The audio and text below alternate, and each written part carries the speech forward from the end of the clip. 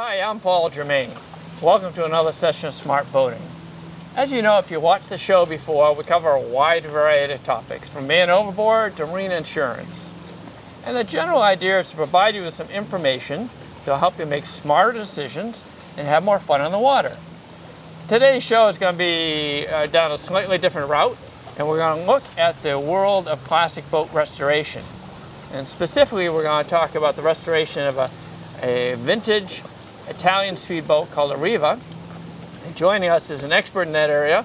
His name is Bjorn Bucken, and he sits on the International Directors Board of the ACBS. Welcome, Bjorn. Thank you, Paul. Good to have you back. Thank you very much. Yeah. Uh, we got a great show here today. People are going to really enjoy it. Uh, but before we get into it, can you share with them a little bit about your boating background, wood building background, and maybe ACBS? Sure. So I um, I'm I'm a woodworker by trade, and uh, I've been interested in classic wooden boats since I was young. Uh, 15 years ago, I got into the hobby by restoring classic uh, mahogany boats. Okay. Uh, currently sit on the international board of the Antique and Classic Boat Society, which is an interest organization for uh, any boats 25 years and older, and uh, to care and use the vintage boat.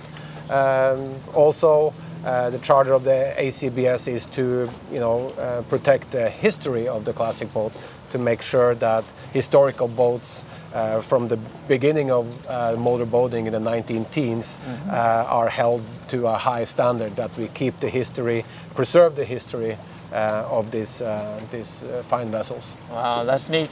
Well, you've got just the right experience for the show today, so why don't we get right into it? Sounds good. Thank you. Okay. Well, Bjorn, in this area of boat restoration and refurbishment, uh, I guess it, there's a lot of points to cover. We can't cover them all, but we'll cover some of the key ones today. Yep. And I guess it would, the process would start on selecting a boat to, to, to, to go through this process with. How did you decide on the boat that you restored? So, I I decided on um, restoring a Riva because of the exclusivity of Riva. Um, only three and a half thousand wood Riva boats has ever been built.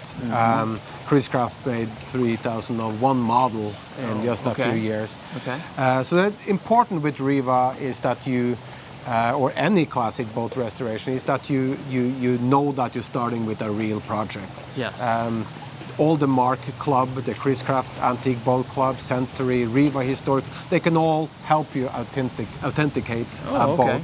And they often give you a certificate that the boat is, uh, it is what it It is. is genuine. It's yeah, it's genuine, authentic. yeah. Yeah. And you know, Riva is an exclusive boat. It was built a few, and uh, so something I always wanted to, to really work on and try Yeah. try my best at.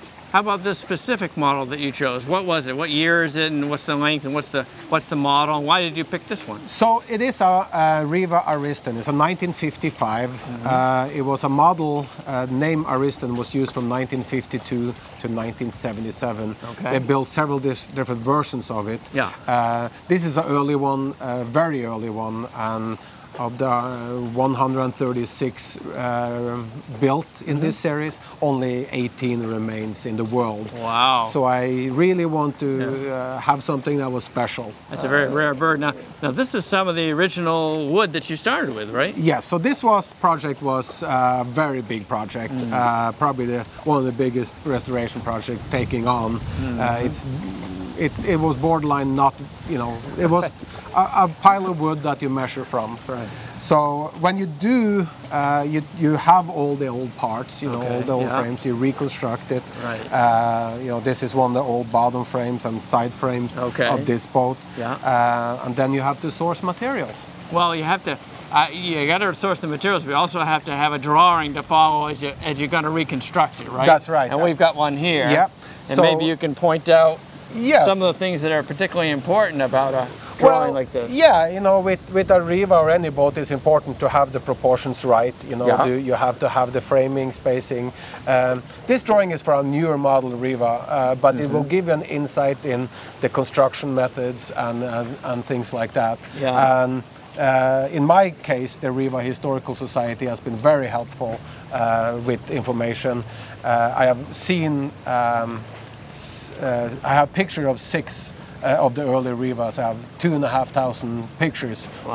of existing boats. So it really, uh, there's a small community, everybody want to help out and so you get the right details. Big help, And, yeah. yeah, and do it right. All right, so you get a start with the old pieces. Yep. And then you've got some support in terms of what it's what the dimensions are, and then Yep. you've got to get the materials. Now, these aren't these aren't ordinary materials. I mean, you can't go down to the local building center and, and, and, and get the wood, for example, right? So- this is kind of a this is a project in itself, right? Certainly not uh, lumberyard No. uh, fine. Uh, everything in this boat is uh, mahogany, uh, African mahogany. African, yeah. you can get um, all kinds of African mahogany at you know specialty lumber yards, you know, Mm-hmm. uh, around the country.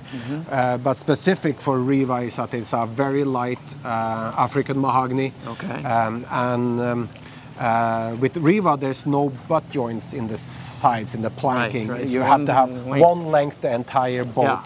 And you know, then we're talking about a piece of wood that's 23 feet, 24 feet long, and nothing like that is commercially available today. So you have to go maybe to a farm. You have to basically maybe go to Africa to, to source Well, the wood and then get it, it- cut it- in another place. It's- That's right. It's no so easy you, thing, is it? No, it's not an easy thing. And uh, I imported my own lumber Yeah. uh, from from Germany. Mm-hmm. Um, big process. No, I must have called 50 or 60 lumber yards and importers of specialty lumber, and they kind of were laughing at me with my requirements.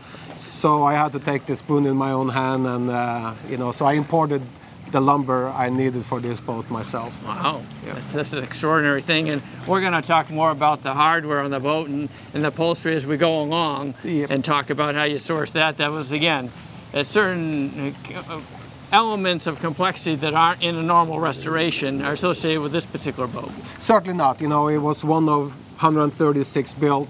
Uh, you know, in the early 50s, you know, many doesn't uh, exist anymore. Right. Uh, parts are scarce. Um, you know, I worked. We can get back to it, but you know, working Yeah. on 3D printing metal pieces that we no longer available. Yeah, yeah. Well, well, we'll talk more about that later. But uh, you need the old materials, you need the drawings, and you need the materials, and that's where you get to start. That's right, and a lot of help from from a fellow community that's uh, more than willing to to let you probe and picture and ask questions and answer questions Yes. and and uh, you know help out with parts that you're missing. And some of these parts are very very rare and they kind of go into their collections and you know, give a fellow a, a hand. Get a hand, yeah, nice. Well, Bjorn, you know, restoring a, a classic runabout like a Riva, to me, it reminds me almost like building a watch. It's so intricate. There's so many pieces. There's so many tight tolerances, and it's interesting how it's built. And I thought we'd start off just briefly telling people about that. And and you start at what they call turtle. You work on the bottom first, right? Yes. So when you're restoring a boat like this, I I start uh, upside down. You start with uh, engine stringers. You build your frames off your engine stringers. Uh, you're getting your lines. You're getting your keel in. Uh, you know side frames, uh, of course. Uh, the construction of a Riva is very similar to any American-built boat. Okay. Chris-Craft, uh, Garwood, um, you know, Century. Yeah. Uh, it's basically frames uh, that bottom, sides, and decks are framed. Okay. Um, you know, on, on this one it has a plywood, molded plywood bottom, Mm-hmm. but um, early Riva has planked sides, so it's called a Carvel planking. Okay. Uh, these frames sits on Riva, Okay. like 11 inches on center, Yeah. and it has uh, long battens going in these grooves here, Yeah, yeah. and that's where the planks meet. Okay. And you, you can screw them in together to, to hold a watertight seal. And again, it's a single plank that goes the length of the boat. right? Entire length on the boat, yeah. There are Ah. seven seven planks on the side of this. Seven planks. Okay. Yes, you can see all here. This Oh, this right, is yeah, right, this yeah. is a plank. This plank. support it, yeah. And you know they are maybe just three inches wide in at the stern of this boat and up to Oh, seven right. and a half up around because Right. it's very, I call it trumpet shaped or snake shaped. So the complexity there is that you've got the plank changing shape, and then you've got the curvature of the hull Abs- too, right? Absolutely. So, why a plank may seem like level on Right. a boat, if Right. you take it off and when you get the curvature out, it basically looks like a snake, you know, with a Yeah. wide in the one end and uh, Wow. narrow in the other. And this is uh, intricate and tricky to. To, and you, of course, you know, you have to make those seams invisible. Yes, That's, yes, yes. That, that is the key. So you worked at very narrow tolerances throughout the boat, from the engine stringers to the planks to the decking, right? Of course, you know you have to start with the tight tolerances. Uh, if, if you if you start, you know, from the keel and um, uh, engine stringers up to the framing, Yeah. you, you start with uh, you know plus minus a sixteenth because you know if you start with more than that, it's going to be exponentially more when you get to to the finished details. Yeah, Yes. multiplies. Yeah. It multiplies itself. Yes. Right, right, right. So the end result is is very uh, sophisticated and lightweight and strong construction, I guess, right? That's right. Carlo Riva actually built uh, the boat uh, on jigs, uh, and it's said that I had he had a tolerance of you know less than a 16th, Yes. down to a millimeter. Yeah. Um, you know uh, that may be maybe the jig was that uh, accurate, but you know we're talking about wood, and there's, there's wood movement as well. Right. Uh, he prefabricated all the frames. Uh, you know, bottom side Oh, and deck right. frame in Yeah, yeah. and he assembled them in a jig. Yes, yes. Then he did the sides. Then he flipped the boat over and did the bottom. Oh, okay. But uh, you know, I certainly do not have those jigs, so I have to start with the way uh, I know how to do it. Right, Upside right. down, you That's can right. you can take measurements and you can get it. You know, get the get the Get it the just right. Yes, to get right. Yeah. Just right, yeah. Yeah. Well, Bjorn, when you look at classic and vintage runabouts on a Riva, one of the things that really stands out, or well, there are actually two things that come to my mind. One is the decking, and the other is the hardware. Maybe you could share with us the restoration process of the decking and what was important when you were doing that. Sure. So, um, unless American-built boats, um, Carlo Riva put inlays. Uh, there's no caulking in the seams between uh, between the planks in the deck, if you Okay, will. okay. Uh, the deck is uh, made up of three different species of wood. In this year, in 1955, it was Sipo uh, on the outside in the center that was stained. It was Spanish cedar, uh, the dark wood in the center. Spanish cedar is actually a, a, a mahogany, Mahogany, so it- even okay. though it's called cedar yeah. and the inlays, uh, which uh, is uh, a striped wood, either a Doug fir or a Sitka spruce Okay. uh, of that type. Okay. You, you start with the you start with the covering boards and the king plank we call in the center. Yeah. And there's two thoughts of laying a deck. Mm-hmm. Uh, one is to use pre-make them in panels Yes. and press them down and form them into um, to, to the deck Right. uh, and then round out the last outer seam for the inlay. Yep. I did it differently. I laid the outer seams of the deck first Yep. Okay. uh, and, and then laid four and four strakes and pressured them down, bagged them down, and I did four and four on each side uh, each day, front and back.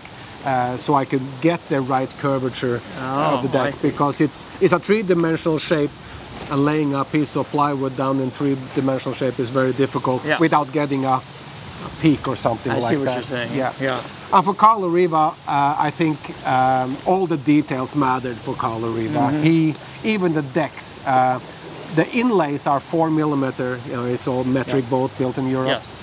Uh, and the mahogany stakes, strakes are 32 millimeter. And if you add it up, 4, 8, 16, 32, it's all in proportionate to, uh, nothing is not thought of when it's coming to That's Carlo impressive. Riva. Yeah. Well, we're going to talk about the hardware in a second, but I want to stay with the deck just a little while longer because the varnish, its application, and the amount of coats, and that whole process is a very big deal on these Rivas, right? It, it is. It's uh, you know it was not necessarily a mass-produced boat. Um, it's known that Chris Craft went uh, went out of the shop with four coats of varnish. Uh, Riva certainly did not do that. Uh, they were all buffed. Um, um, not quite sure how many coats uh, they did go out with, uh, 10, 12, something like that. Uh, this boat, of course, when we restore them today, we, we put more coats on. This boat has 24 coats on. Wow. But that being said, you know, you want an even surface, so 75% of those 24 coats are sanded, Sanded off. sanded off. Yes. Right, right. Yeah.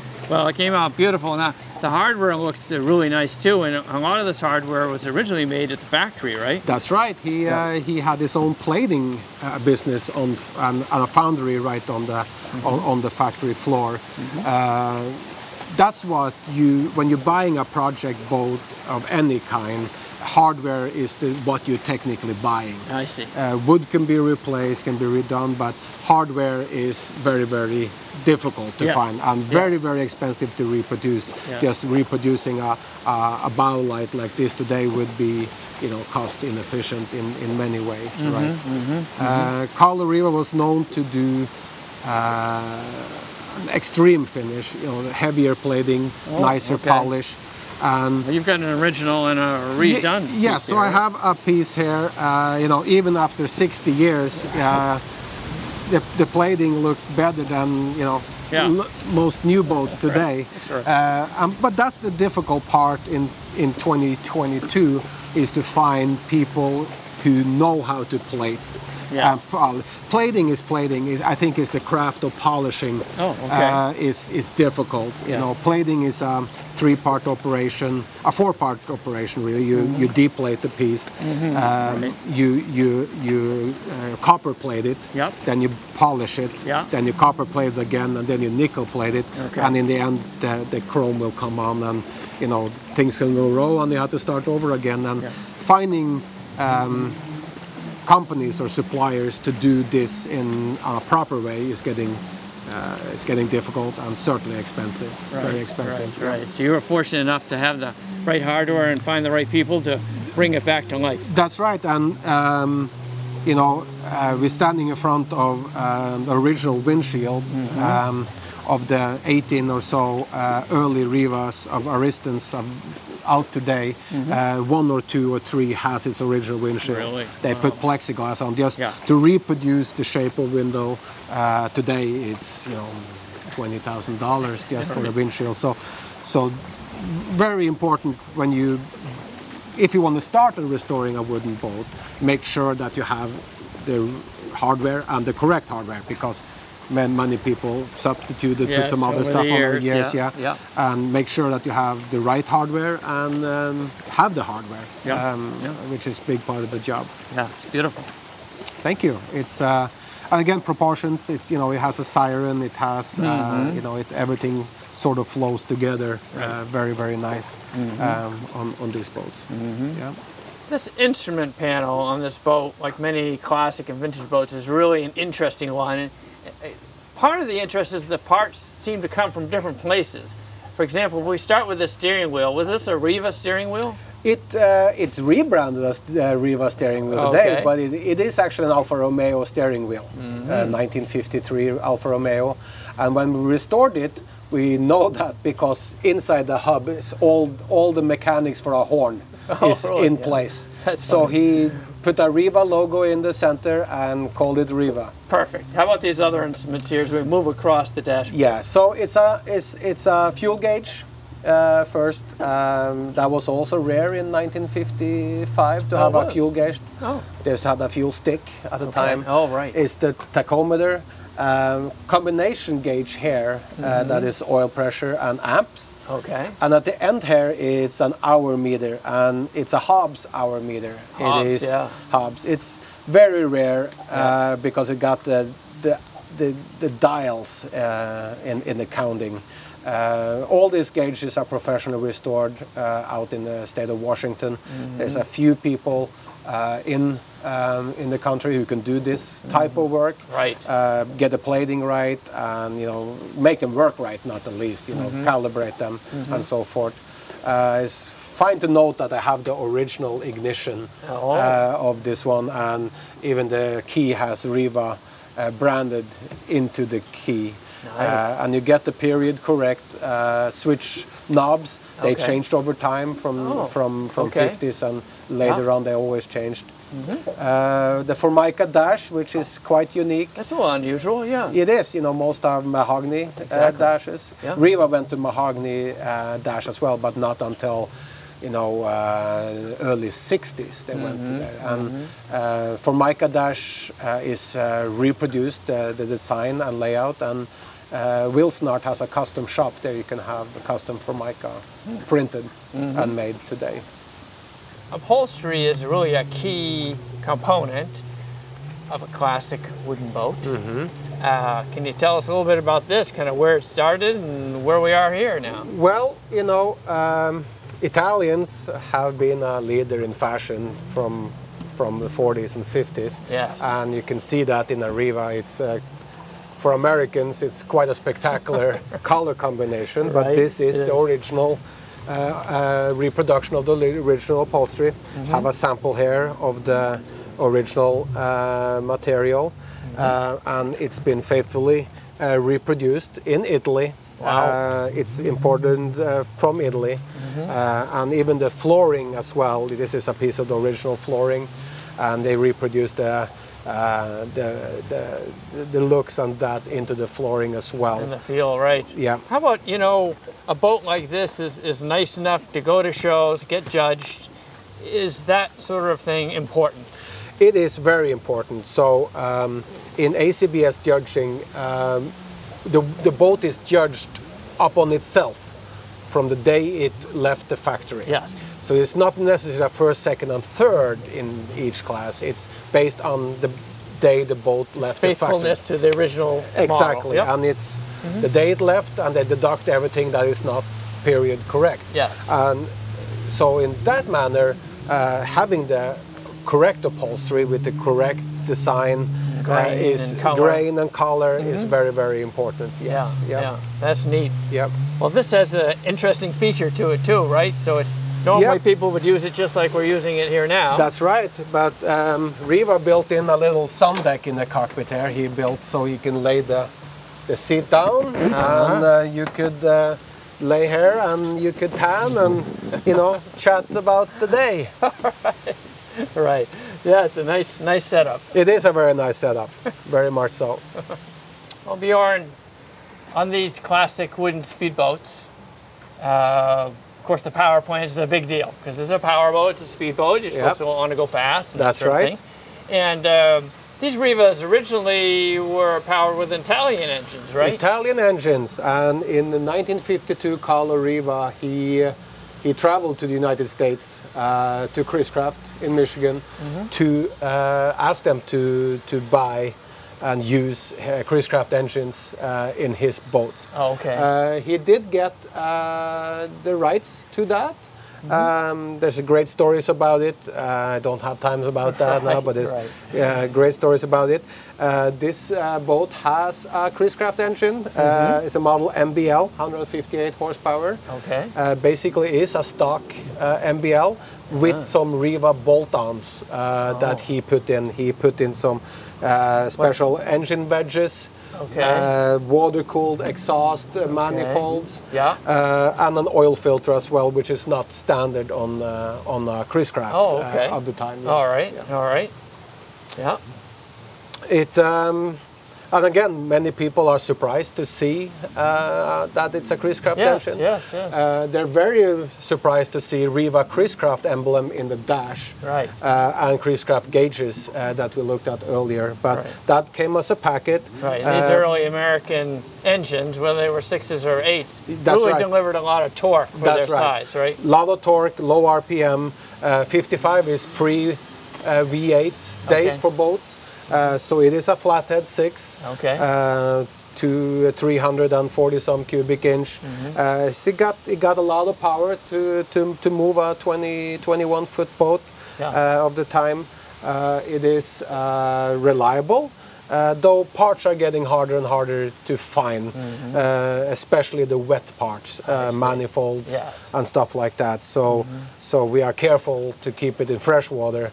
Um, just example, just to get a manifold now, if you can find one, it's uh, anywhere from two thousand to three and a half thousand dollars. All right, yeah, you don't want to go down that road if you don't have to, but it's a nice, nice balanced power plant for a boat like this. It, it is, and it uh, move it quite well. Um, this boat is so new; I'm still in a break-in uh, period on this. So, uh, but you know, back in the day, they did uh, 40 miles in a day, and uh, and you can easily pull skiers uh, Yeah. of a boat like this, and um, you know that's uh, that's a reliability about uh, high torque, low RPM, uh, American steel. Yeah, does the job. That's the job. Yeah. Well, Bjorn, it's tough to believe, but uh, time to wrap up the show for today. Yeah. and uh, we've covered a lot of ground um, from the you know the whole hobby and Yeah. uh, pursuit of restoring classic wooden boats. Do- Before we close out, is there anything else you'd like to say? I would like to just thank you for uh, thinking of uh, reporting on classic boating, restor- boat restoration, and vintage boating. Um, and if anybody of your viewers are interested in vintage boating, they can look up um, Antique and Classic Boat Society at acbs.org. Wealth of information, uh, 52 chapters around the country and in Canada. And um, help is uh, out there for people who want to restore and use their vintage craft. Beautiful. Yeah. Great. Thank you, Smart Boating viewers, for joining us. If you have comments, questions, or just want to watch another show, come to us at www.smartboatingus.com. Thank you.